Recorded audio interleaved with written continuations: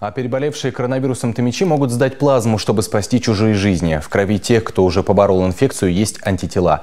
При переливании тяжело больному человеку они блокируют в организме вирус. Таким способом врачи уже успешно лечат пациентов с COVID-19.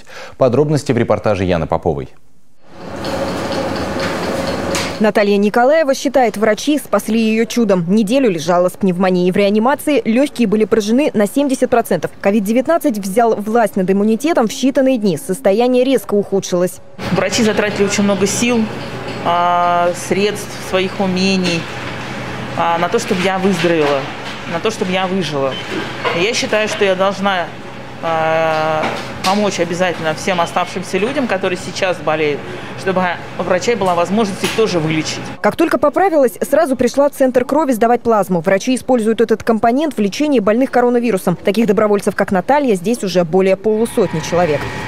Сейчас это очень ценная жидкость. Плазма человека. Здесь антитела. Это клетки-защитники, которые, попадая в организм, блокируют вирус. Чем выше концентрация антител, тем больше защитников. Пациенту может хватить одной дозы, бывает, когда необходимо несколько сразу, поэтому прежде чем взять плазму у донора, врачи проверяют, насколько она богата антителами. Это зависит от множества факторов. От иммунной системы самого непосредственно человека, который переболел, от э, тяжести заболевания, от возраста. Чем, естественно, возраст больше, старше, соответственно, иммунный ответ уже будет не настолько выраженный. Сдавать плазму можно не раньше, чем через месяц после выздоровления. Большинство добровольцев здесь были по несколько раз. Юлия Постникова убеждена, если ее кровь может спасти человека, она будет ходить на донации до тех пор, пока не исчезнут антитела. Не задумываюсь, потому что я понимаю, как э, серьезное, какое, насколько серьезное заболевание, как тяжело болеют люди.